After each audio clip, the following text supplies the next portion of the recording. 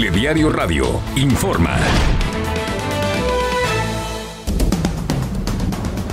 Muy buenos días, este es un resumen con lo más relevante hasta este momento. Les saludamos. Gabriela Pérez Javier. Y Antonio Estrada Armendaris. Esta madrugada, el exgobernador de Puebla, Mario Marín, abandonó la prisión del Altiplano en el Estado de México y llegó a su casa de Gilotzingo, en Residencial San Ángel de la capital poblana. El llamado Gober Precioso arribó al lugar donde cumplirá en prisión domiciliaria el proceso penal en su contra por el delito de tortura y abuso de autoridad cometidos contra la periodista Lidia Cacho. Tras la audiencia de alegatos de clausura, el juez de control de Valles Centrales, José Gabriel Ramírez Montaño, anunció que emitirá hoy su fallo sobre el caso de la agresión con ácido que sufrió la saxofonista María Elena Ríos en el 2019. De 2019 a la fecha hay 21 sentencias en el Consejo de la Judicatura donde mujeres enfrentan acusaciones y señalamientos de ser brujas o adoradoras del diablo. Así lo revela una investigación de Milenio. Tras la investigación de antidoping sobre las importaciones de varillas de acero roscadas originarias de China, independientemente del país de procedencia, la Secretaría de Economía dictaminó imponer cuotas compensatorias a estos productos por discriminación de precios y la amenaza de daño a la producción nacional. El vocero del Frente Cívico Nacional, Guadalupe Acosta Naranjo, confirmó la intención de crear un partido político nacional, mismo que aseguró no será un PRD 2.0. En una de sus últimas apariciones públicas en el sexenio, la historiadora Beatriz Gutiérrez de Violero aseguró que no habrá marcha atrás en la transformación del país, al destacar que México ya cambió. Al presentar su libro Feminismo Silencioso en el Zócalo Capitalino ante su esposo, el presidente Andrés Manuel López Obrador, y la virtual presidenta Claudia Sheinbaum, la escritora advirtió que recriminará si se registran retrocesos. Creo que la petición a futuro es que esa voz dada al pueblo de México debe ser una voz exigente. Y si es silenciosa, hay que prestar más atención porque el silencio también lo, lo escribo, es una forma de protesta. El gobierno de Estados Unidos aprobó la venta de un gran paquete de armamento militar por valor de 20 mil millones de dólares, incluidos 50 aviones de combate F-15 a Israel. La administración de Joe Biden anunció esta transferencia de armas en medio de la creciente tensión en Medio Oriente, donde se espera que Irán ataque a Israel en represalia por el asesinato de dos líderes islamistas de Hamas y Hezbollah. En Monterrey.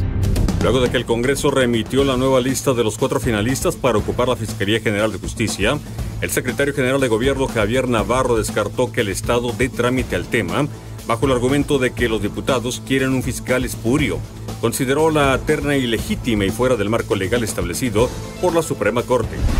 Tras varias semanas de incertidumbre, los magistrados del Tribunal Electoral del Estado enlistaron para esta tarde la sesión de resolución en la impugnación en la alcaldía de Monterrey, en la cual perfilan confirmar el triunfo de Adrián de la Garza Santos. Además de que no hay el número de votos ni quórum correcto para iniciar esa sesión y, además no existen eh, este, la posibilidad de que eh, dentro del proceso que estableció la Suprema Corte de Justicia estos cuatro hombres este, puedan ser eh, designados como fiscal, pues el Estado hará todo lo posible para evitar que lleguen. Durante las primeras 31 semanas del año en Nuevo León se reportaron 21 casos de fiebre manchada y 6 casos de otras rickettsiosis. En ambos rubros, según el Boletín Epidemiológico Nacional, el estado se ubicó como cuarto lugar en México. En entrevista para Telediario Radio, Joel Alejandro Hernández Herrera, médico especialista de epidemiología, dio a conocer los síntomas de la mordedura de una garrapata. Estos van desde la cefalea, el dolor de cabeza, escalofríos, este, un ataque al estado general como lo ocasionaría alguna gripe o alguna otra infección, pero aquí lo más importante es la aparición de un rash. ¿Qué es un rash? Es una erupción, un sarpullido que puede distribuirse eh, a lo largo de todo el tronco en, este, generalizado y pues es una patología que nos va a ocasionar complicaciones en el corazón, el cerebro, sobre todo los vasos sanguíneos. Desde el martes y hasta el 31 de octubre, el colectivo Vibra Cívica se ha dado a la tarea de recolectar 2.236 firmas para que se pueda llevar a cabo la consulta popular en la que se pide el cierre de la refinería de Cadereyta.